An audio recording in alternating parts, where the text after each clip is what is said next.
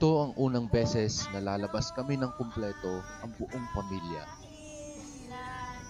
Humahagik sila sa akin. Kita daw kasi nila ko Sa loob ng labing apat na taon na pagsasama namin bilang mag-asawa, ito ang kauna-unahang sabay-sabay kaming aalis ng bahay at lalabas ng Occidental Mindoro na magkakasama.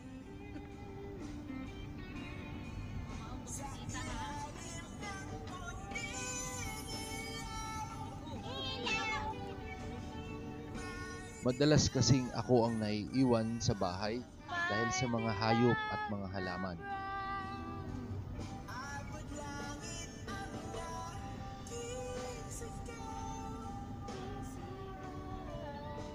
Hindi maipaliwanag ang excitement ng bawat isa. Sige Ganito pala kapag buong pamilya na magkakasama na pupunta sa isang uh, getaway o bakasyon o pahinga muna sa routine ng buhay.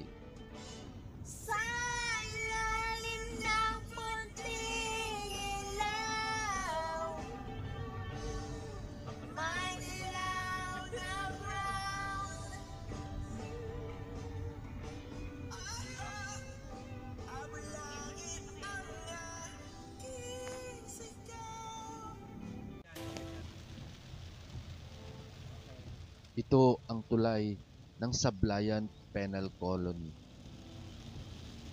Pero mas kilala na ngayon bilang Sablayan Selfie Bridge dahil sa dami ng mga nagpapa-selfie dito.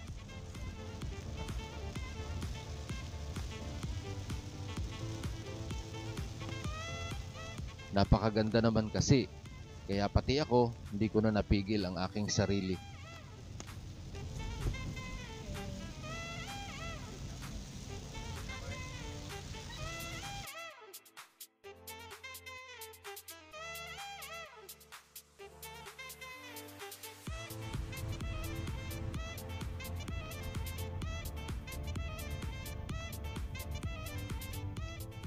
At kalahating oras ng kulitan sa sasakyan. Umabot din kami sa dulo ng Occidental Mindoro, ang Abra de Ilog. Dito po ang pier ng patungong Batangas Port.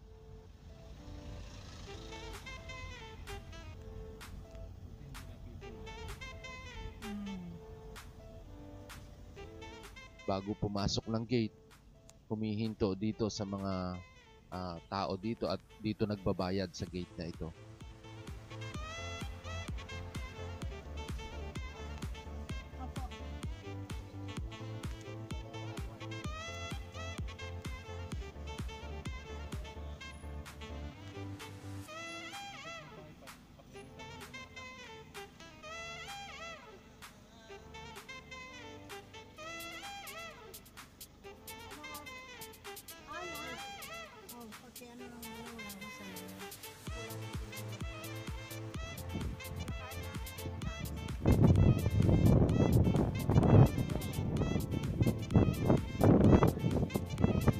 Kumusta Poy?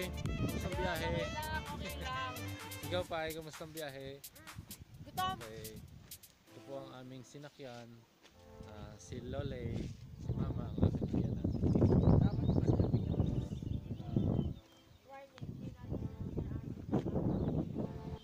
Habang nagbabayad si Tita Eden ang aking asawa, si Apple, sinamantala namin yung pagkakataon.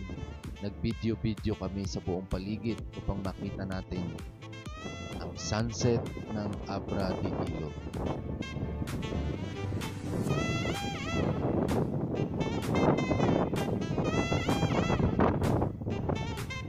Habang naghihintay ng barkong sasakyan, libutin natin ang tanaw ang buong Abra de Ilog.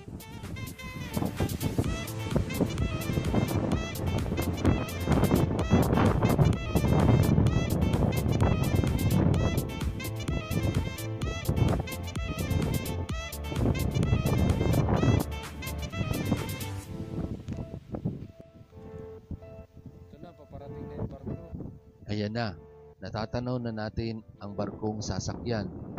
Mas lalong lumakas ang excitement na nararamdaman ng bawat isa.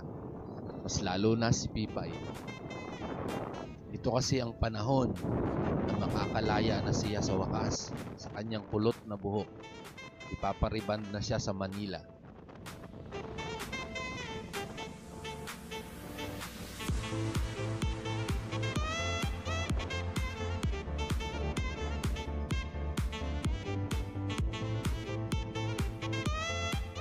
Ito ang malawak na dagat ng Occidental.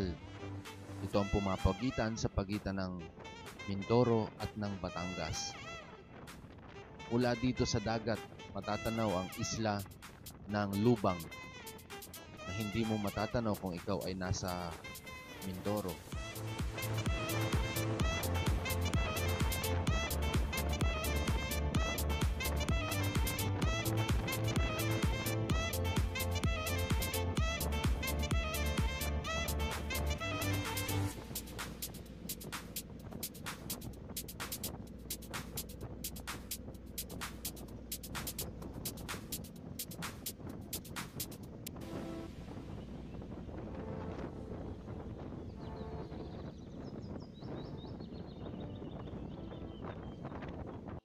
Matapos ang mahabang biyahe, tumuloy kami ng Tagig at doon kami natulog ng dalawang gabi sa bahay ni Daddy Mon at ni Mami Days, kapatid ng aking biyanan, si Mama.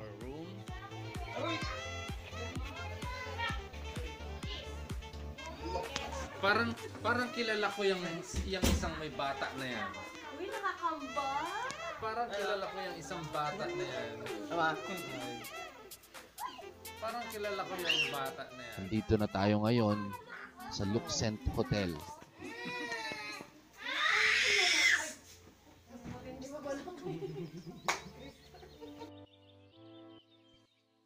Ito ang Luxent Hotel dito sa Quezon City. Tayo ngayon ay nasa 16th floor. Yung unang kwarto na ating pinasok kanina na may maiingay ng mga bata, yun ay kwarto ng aking bayaw, si Tutoy.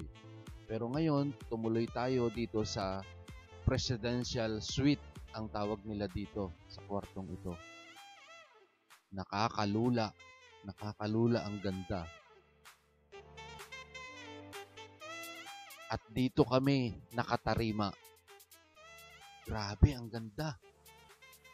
Hindi ko maisip na sa aking buhay makakatira ako sa ganitong klase ng kwarto kahit sa loob lamang ng dalawang araw.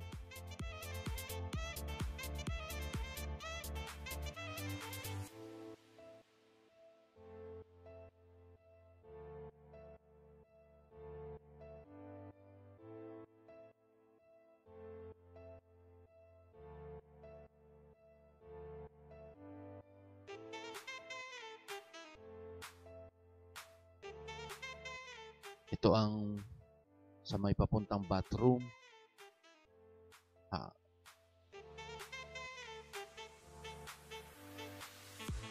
Ito yung pinaka-bathroom. Grabe. May jacuzzi. Mula dito sa taas, kitang-kita mo yung mga view sa labas, yung mga matataas na building. Ang ganda.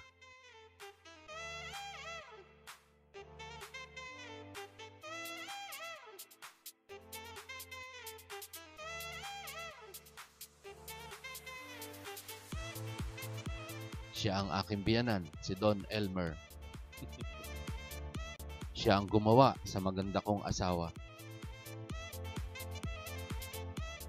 Ang aking bayaw at mga pamangkin.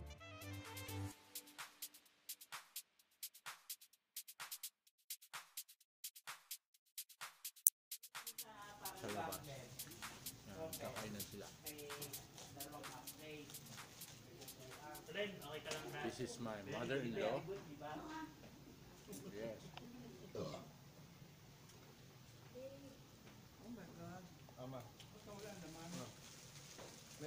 Wala silang kagana-gana kumain.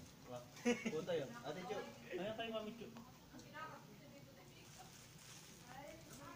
Kaya na,